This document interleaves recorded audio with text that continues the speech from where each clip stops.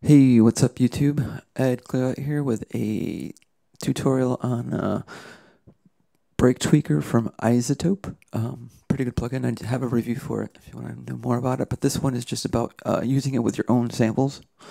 So um, on the screen you can't see in my setup I have uh, just a folder full of just random one-hit drum shots. This does not cut up breaks as far as I can, I don't think at all. Um, you just put one of these in each of these and then go from there. So let's see what we got here. So, all right, sounds like more of a hi-hatty kind of sound. So you open up the one of these, bam, you start throwing your stuff in there. There we go. Okay, kind of a snare. It's gonna go in this spot for me. And you could put them wherever you want, I guess.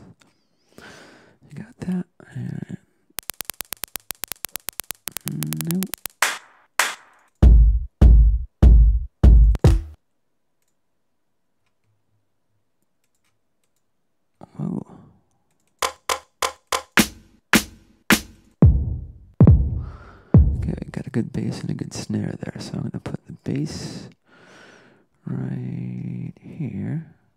And let's see if it.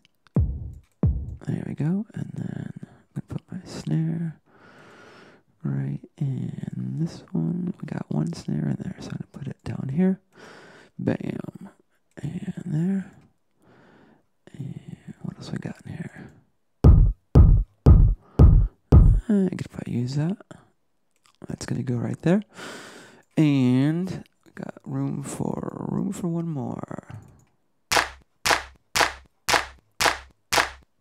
All right. And that's going to be it. So now we've got our one-e's loaded up. You're ready to go. Pop up the sequencer. Bam. And you could run it, but nothing's going to happen. So we got to see what's where. So now start. Click it in. Bam. There it is.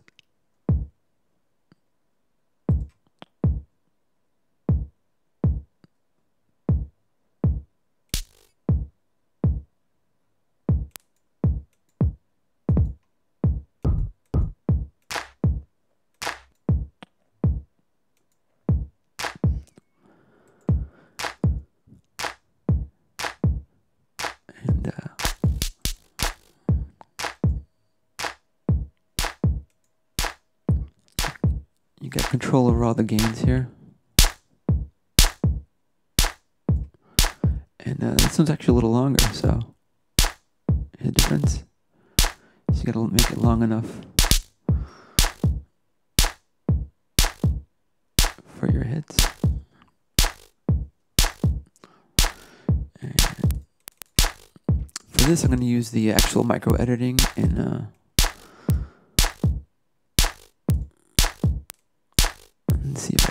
explore that a little bit.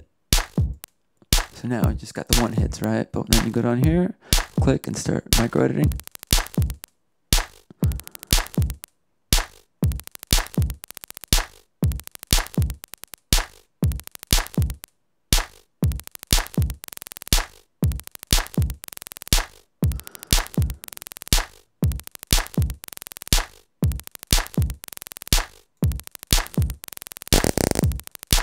Wow, that sucked. and you got a randomized function here for.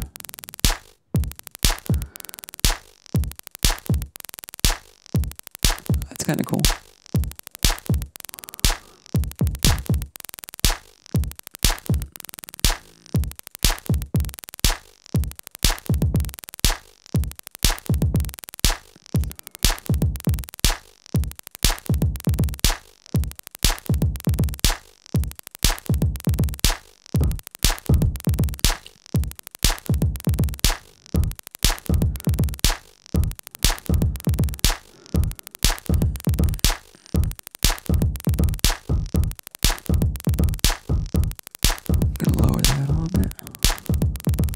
You can change the speed of these too.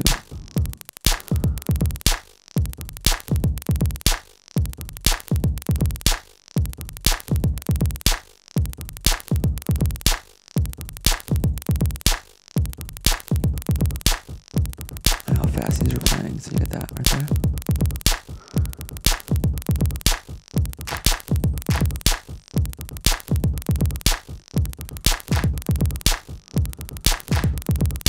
Go edit that a little bit. Right there.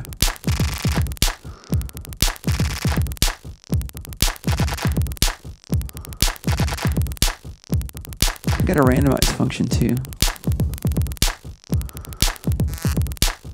Hear it's changing it.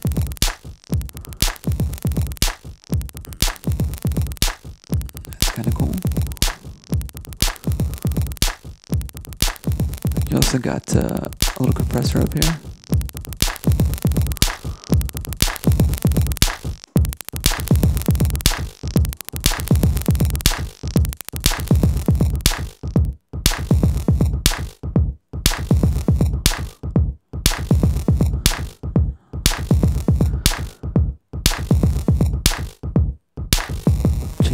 Tempo a little bit.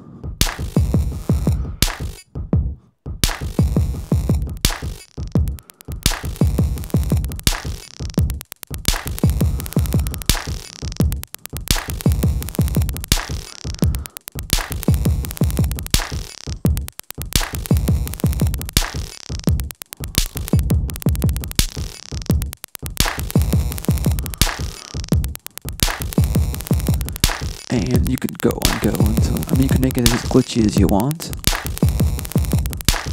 But so pretty much throw your samples in there using this little box right here and then use a sequencer and then when you want to do something to a hit, bam, click. Here you got this, go like that. You got all these different controls here. And you could randomize things and but uh, in the end, real quick, just